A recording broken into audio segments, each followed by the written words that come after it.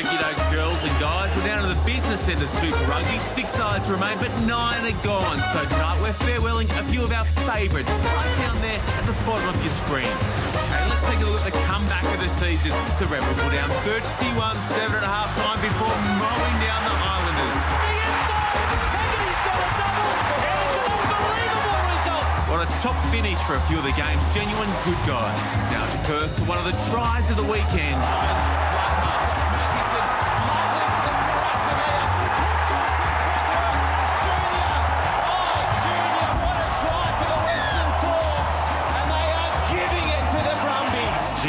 A tough pass from the Honey Badger to Junior. How tough?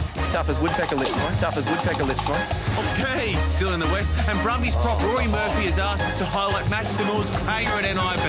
Is this the biggest forward pass in the history of rugby? We reckon yes. It Just hold on there. Looking at that going, what happened there? It's a forward pass. Right, let's take a squeeze at some more five pointers. This is pretty handy from the Sharkies. Beautiful. Uh, lovely ball away from Joariera. This is what the crowd want. This is what they want. And accelerates away. Now, Bryan Habana playing his last game for the Stormers. Jean de Villiers. Bryan Habana on the angle. Bryan Habana. All right, Newlands, get a load of some of the hits. They were hammering one another. Smashed up. No love lost between the Canes and Crusaders either. Taylor gets absolutely nailed.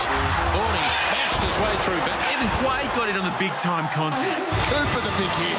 Now that'll very nearly do us for this week. But before we go, a quick shout out to this guy, Tameifuna. also known as Planet Tameifuna. This is what happens when he hits top gear.